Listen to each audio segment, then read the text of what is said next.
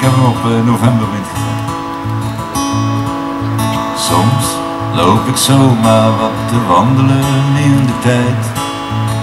Dan denk ik terug aan mijn jeugd. Als kind merkte ik niks van de armoede. In die dagen van nood en van deugd. Ik weet nog hoe er een vrouw een mand kwam aan de deur. Vol met lappen en allemaal verschillend van kleur. Het zou een koude winter worden, zoals toen een winter was. Dus maakte mijn moeder voor mij een vele kleuren jas. En terwijl ze elke avond met mijn jasje bezig was, vertelde ze van Jozef en zijn vele kleuren jas. En dat die jas geluk en mij voorspoed brengen zou. Oh, ik kon bijna niet wachten tot de winter en de kou.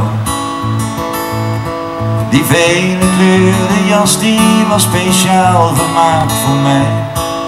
Van oude stukjes lappen, maar ik was zo trots en blij.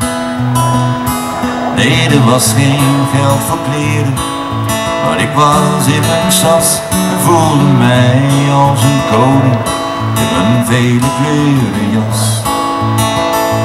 Dus met stukken op mijn knie en gaten in mijn zool, in mijn vele kleuren jas, rende ik die dag naar school.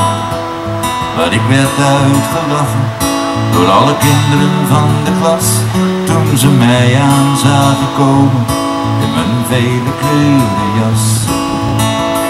En ik vertelde het verhaal van Jozef en zijn jas en hoe mijn moeder met veel liefde mijn jas aanmaken was.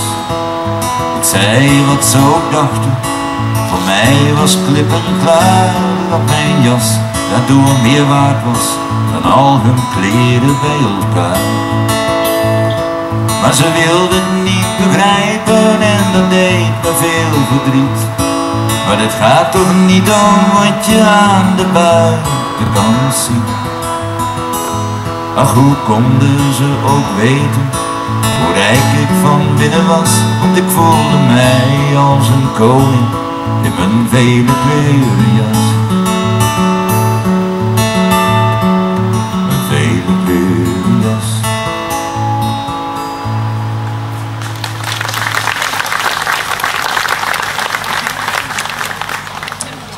Dankjewel, dat was ik nog vergeten te vertellen. Ik wil dit... Uh...